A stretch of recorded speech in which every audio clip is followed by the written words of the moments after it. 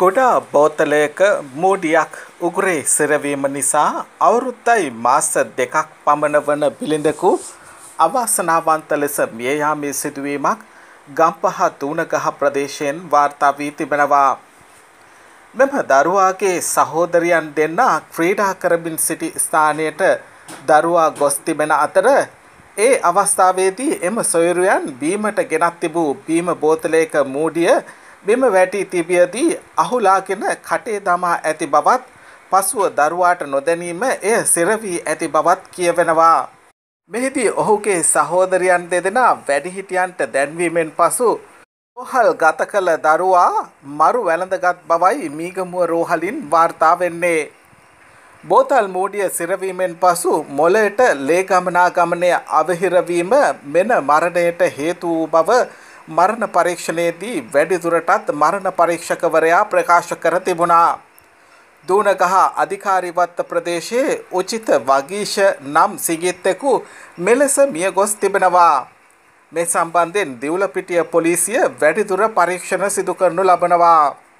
මෙලෙස කුඩා බෝතල් මූඩියක් උගුරේ සිරවීමෙන් මිය ගිය මාස 14 හැවිරිදි පිරිමි දරුවා ගැන පැවැත්වූ මැරණ පරීක්ෂණය මීගමුව මහරෝහලේදී පැවැත්වුණා.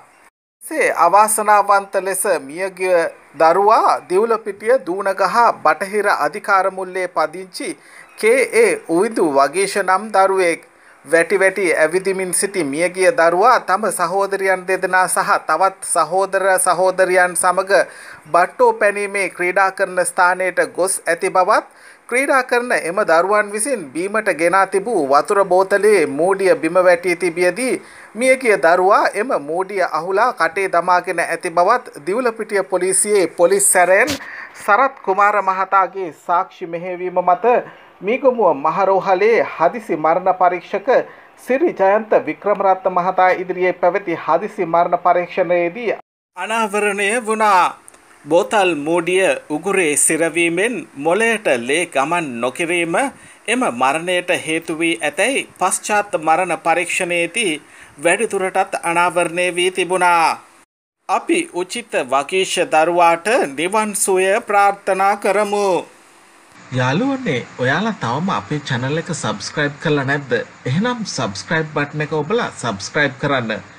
සීනුව සලකුණ ඔබලා දිනපතා අපගේ නව වීඩියෝ බලන්නත් ඔබට අවස්ථාව තියෙනවා.